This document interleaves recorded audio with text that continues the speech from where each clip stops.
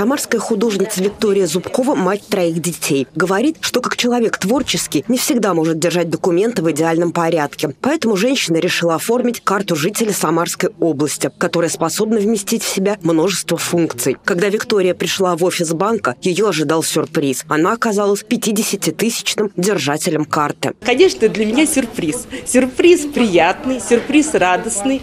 И для меня это какое-то знаковое событие, потому что началась весна. А значит, будет тепло, а значит, мы будем улыбаться. Проект «Карта жителя Самарской области» реализуется региональным департаментом информационных технологий и связи и Российской национальной платежной системой по инициативе губернатора Дмитрия Азарова. Я считаю, что 50-тысячный клиент – это уже определенный показатель э, успешности развития проекта. Почему? Потому что, ну, на мой взгляд, это неплохая и достаточно серьезная цифра. Это первое.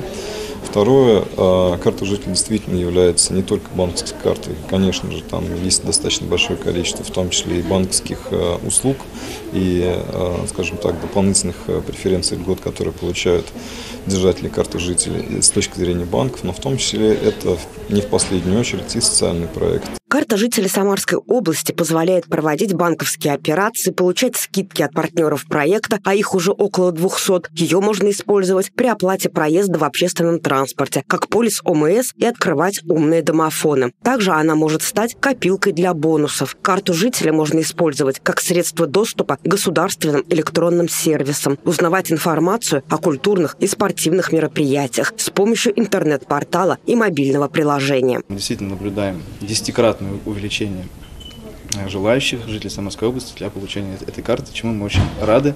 Хотим поблагодарить еще раз и поздравить нашего 50-тысячного клиента. Для нас это, конечно, очень а, важное событие. После получения карты жителя Виктория Зубкова получила цветы и подарки. Не исключено, что уже в этом году приятный сюрприз будет ждать 100-тысячного держателя многофункциональной карты. Светлана Тимофеева, Николай Епифанов. События.